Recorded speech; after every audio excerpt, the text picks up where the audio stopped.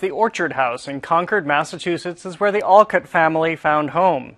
It's also where Louisa May Alcott would write her landmark novel Little Women, whose characters she based on her own family. With the new Little Women film opening this Christmas, we take a look at the house that inspired the story. It looks like a lot of thought happened in this room. It just feels like thought here.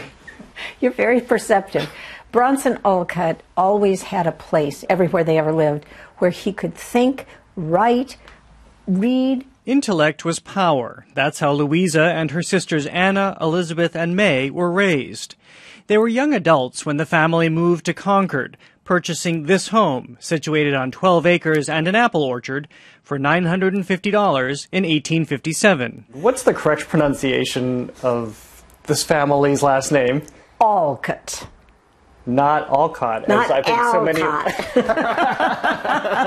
Jan Turnquist is executive director of Louisa May Alcott's Orchard House, although she first came here as a guide when she was in her 20s.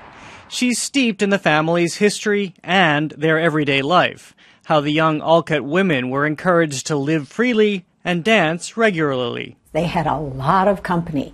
Every Monday night, they were at home. They would put a curtain up across here, and the family would put on plays, especially Louisa and her sisters. They would play games. Mrs. Alcott loved to play chess, and we have the original board. Mid 1800s Concord was a who's who of thought leaders, all friends of the Alcotts Emerson, Thoreau, and next door neighbor Nathaniel Hawthorne, who didn't always share their ideals. The Alcotts were very progressive, liberal, uh, abolitionist, and um, just maybe suffice it to say that Nathaniel Hawthorne very different politically. Already a published author in 1868, Louisa was asked by her publisher to write a girl's story, much to her dismay. As she put it, she never knew many girls.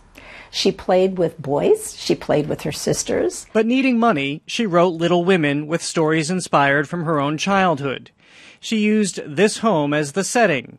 It remains largely as it was when Louisa lived here. When people walk through and see items that it's so clear they had to have touched and used, like the sewing materials, like the needlework that they did, the paintings and drawings, I think those speak most closely to that sense of they're here. Now, this, I assume, is just the heart of the pilgrimage right here. This is where Little Women was written? Yes.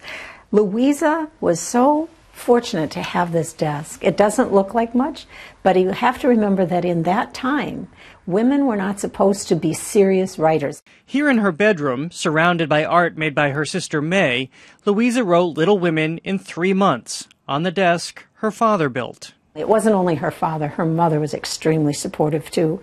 And they were saying, You can do this. One room over is her sister May's bedroom. It's decorated, as is much of the house, with her own artwork. May was an accomplished painter whose work sold well in Europe. She was especially adept at painting in the style of J.M.W. Turner.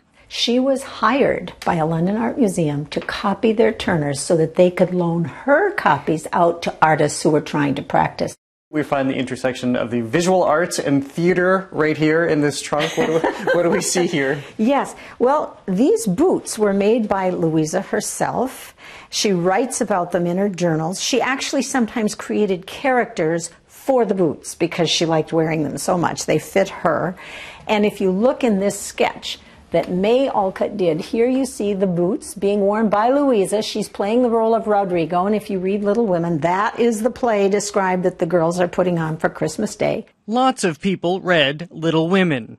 Almost instantaneously, the book was a bestseller. But Louisa didn't relish her newfound celebrity. She sometimes would say she was porcupiney about it because people would come right up to this house, right up to the front door, and ask for an autograph. She would sometimes answer the door pretending to be a servant. Yes, yes, she absolutely did. She, she would do that. Fame is about to visit this house once again. I'm working on a novel. It is a story of my life and my sister's. The seventh film adaptation of Little Women, written and directed by Greta Gerwig, opens on Christmas Day. Turnquist was a consultant and says the filmmakers wanted to be as authentic as possible. Greta Gerwig took such an interest, kept coming back to the house, brought the cast through the house, and the different production people were through and, and talking about paint colors and measurements and floor plans. Turnquist says the new film captures the essence of the home like no other adaptation has. Of course, nothing compares, she says, to experiencing the Alcott home in person and often with people who've come from around the world. And when they come in with so much awe, enthusiasm, and really love, they love the book. They liked the values of that family. They liked the idea of caring for your family and helping other people. And then that jives very well with our staff that feel the same way. So it's almost like a little celebration.